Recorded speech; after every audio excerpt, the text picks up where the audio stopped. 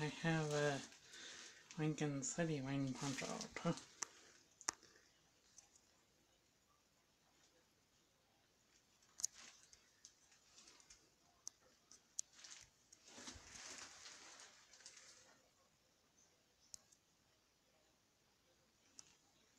And the video.